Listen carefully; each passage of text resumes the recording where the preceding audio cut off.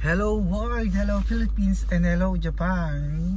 Ayan, this is Francis Yang. Ayan, batang batang apelido. Ayan, so hindi na po tayo sa channel, si Francis Yang na po tayo. And nagpalit po ako ng YT name dahil gusto kong bumata. Ayan, kasing bata ng face ko ngayon. Hindi, charot. Ano, um, para ba, uh, today's vlog, ayan, in today's vlog, uh, di ba nag Starbucks na ako ngayon mag ano tayo milk tea. So ito yung hiling ng mga Pilipino ngayon ang milk tea. Matagal ko na favorite talaga ang milk tea at uh, siguro dalawang dito sa Japan dalawa lang na alam kong milk tea shop. At hindi ko alam yung name ng isa. Basta red siya. Tapos itong ano papakita ko sa inyo. Hindi ko alam kung may ari to.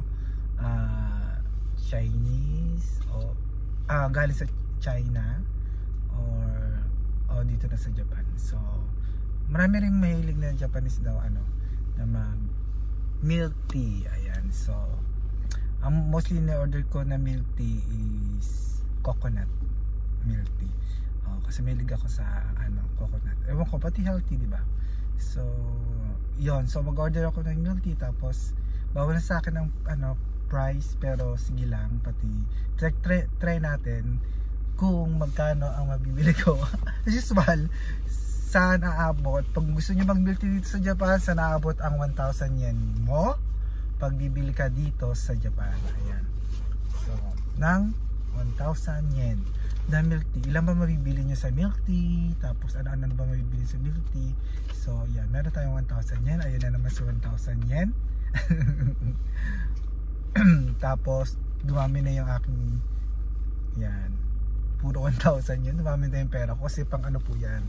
Pang tawag dyan? Pang groceries. Ayan. So may budget po tayo ngayon. Ayan. So ayun na 1,000 yen. Thank you sa sponsor ko kay Mrs. kasi wala po tayong trabaho. So bibigyan lang tayo ng allowance. So ayan. Shout out kay Mrs. meron tayong pambili ng milk tea ngayon. So ang ingay ng sakyan ko, hindi ko alam kung bakit. Maingay na siya. So, patayin ko kaya. Narinig niya, diba? Buksan na lang natin. Ano. Ayan. Ang ingay.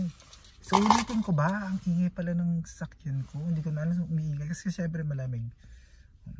Hala. So, ulitin ko ba to? Wag na. Okay na yung ah uh, andito bibili tayo ng milk tea. Anong mabibili natin sa 1,000 yen? Ilang milk tea tapos ano ba? Basta meron si marami silang ano dun eh. Hmm. so papakita ko sa inyo dito ko sa ano parking lot. Nakapark ako. Nasa left side yung uh, milk tea shop. So ang nakakatawa nakakatawa talaga dong name ng shop na to. Hmm. talagang ano matutuwa kayo Ayan, nakita niyo pangalan. Boba. Boba.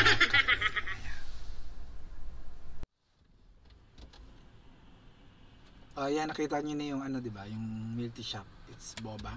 So maya maya, hindi ko alam kung open na or close. Dito sa sa Boba, andito meron silang ano, ang tawag din, mahilig sila di, sa Japan kasi sa mga shop mahilig sila may mga point point card pag pupunta kayo. Ayan. Uh, Iyon Town Sus Suzuka. 10 o'clock. Ah open na open na. And then meron silang mga point card. Kapag napuno mo nito so siguro may free drinks ka. Ayan. So meron silang kami intindihan basta dito yung mga menu nila So, marami pa silang ano eh, uh, branch dito. 1, 2, 3, 4, 5. Sa Miyakan, ayan, meron silang 5 branch. Ayan, meron din silang line. Ginagamit namin parang WhatsApp.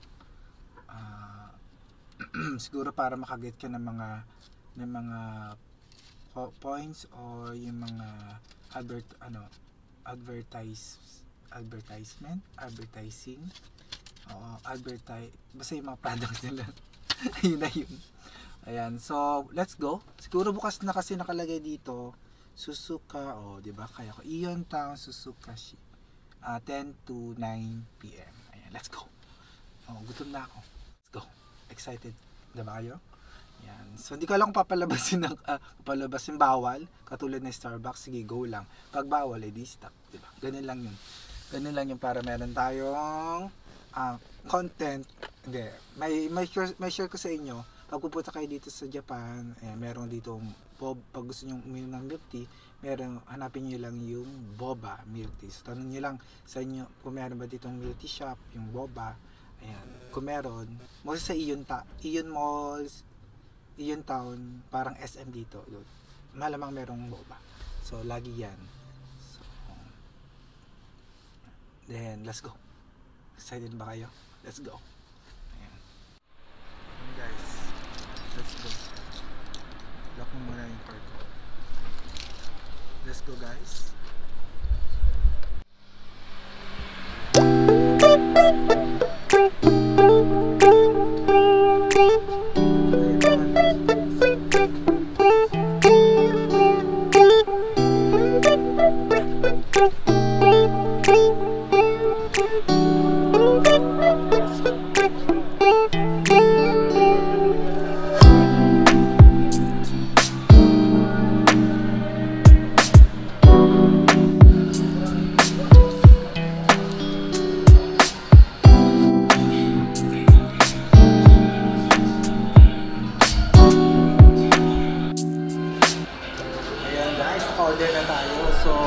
Ito, naka order.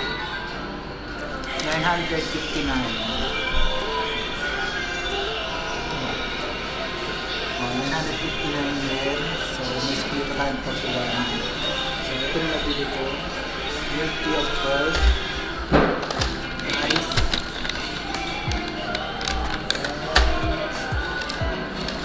Nuggets. Siguro lunch ko na to guys.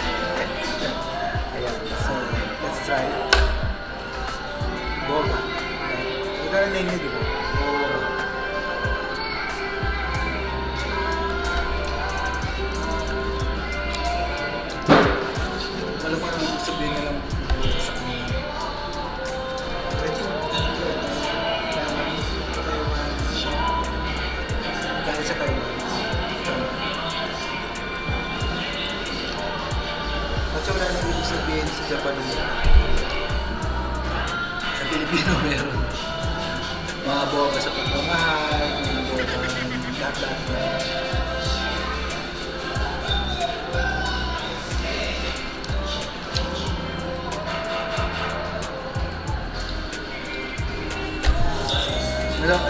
meron sila ibang mga flavor. Cheese.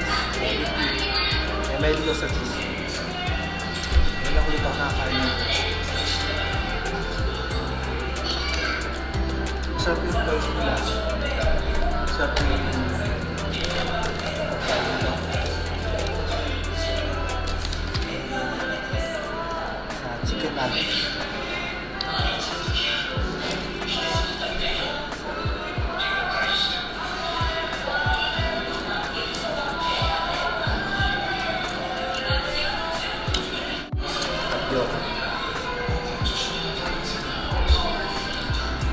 Meron din silang shake. Hindi lang ano, may shake din. Ice cream. Tapos meron sila meron sila parang cheese din. So, parang sarap. Kaya lang, 300 300 yen.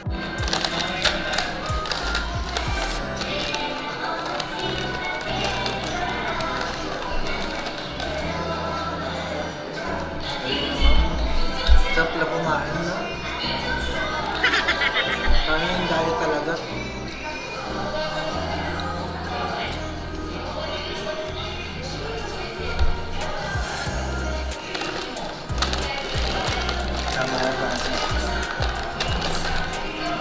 Pasalubong na natin si ko.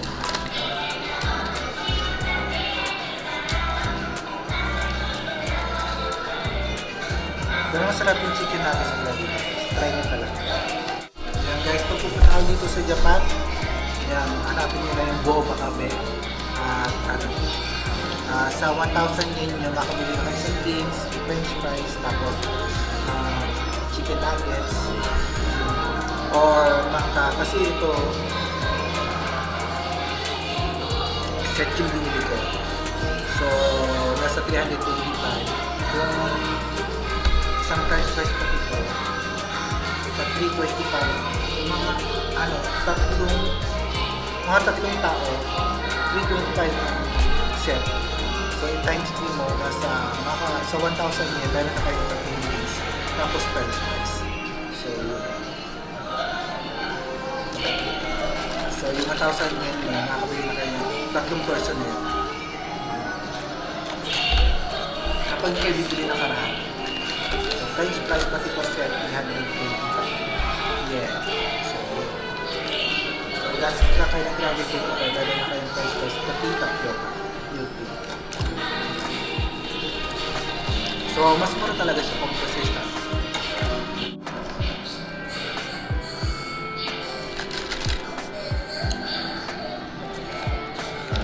Pwede rin kayo mag-add ng ano dito, extra yung nabayad. Mag-add din ng je- yung jelly, ganda rin.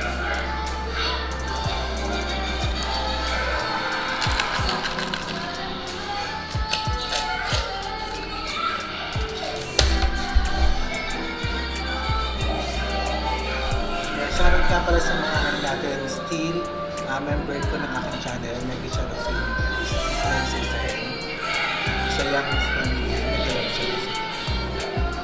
And guys, kung nagustuhan nyo aking aking vlog for today, yeah, please, like, comment, and subscribe to my channel. This is Francis Yang.